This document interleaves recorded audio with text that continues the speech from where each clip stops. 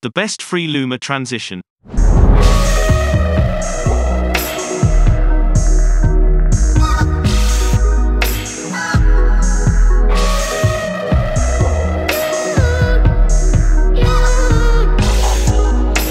Today's video is sponsored by the Blackadder.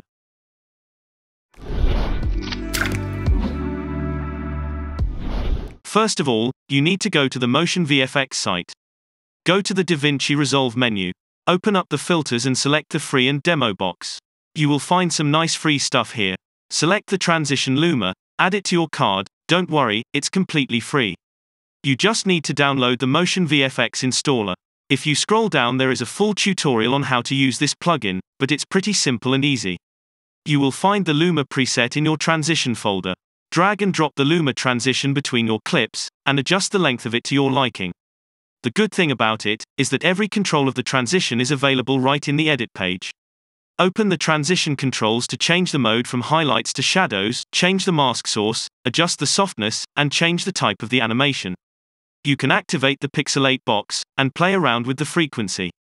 Activate the sweep box to add some edge stretch to the luma and adjust the angle of it. You can also activate the halftone effect if you like, or activate the border box with a full color controls to add some colors to your luma. Experiment with the controls and you'll get plenty of nice variations. The best thing is that every slider is animatable in the edit page, so you can customize it even more to your liking. If you liked this clip, subscribe to this channel. If you didn't, your life is in great danger.